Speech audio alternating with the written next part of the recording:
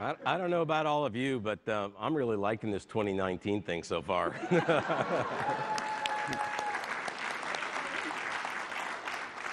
We're here to tell you that last night, overnight, the United States spacecraft New Horizons conducted the farthest exploration in the history of humankind and did so spectacularly.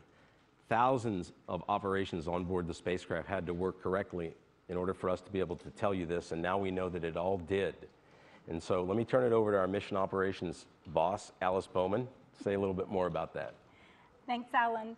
Um, we had a great support with Madrid Station, Deep Space Network, 70 meter. Um, you saw that we locked up to telemetry on the spacecraft.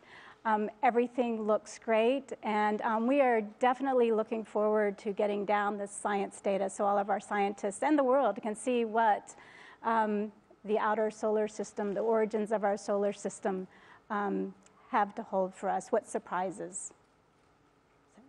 Chris?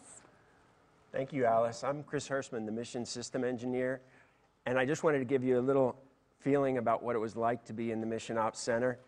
Uh, the the uh, first person to re, uh, report was the RF communications lead, and we kept our eyes on him. And as soon as he started smiling, we knew things were going well. and uh, it took a while for him to report, but then we go to the C&DH lead, and he reported that the solid state recorder had the right amount of data he expected. We also went to the propulsion lead. He said the tank pressures look good. And uh, we just went around the subsystems, the power, everybody reporting green status, and it was just a thrill. And then, uh, and then the cheers erupted in the, in the Mission Operations Center. It was a, an amazing experience.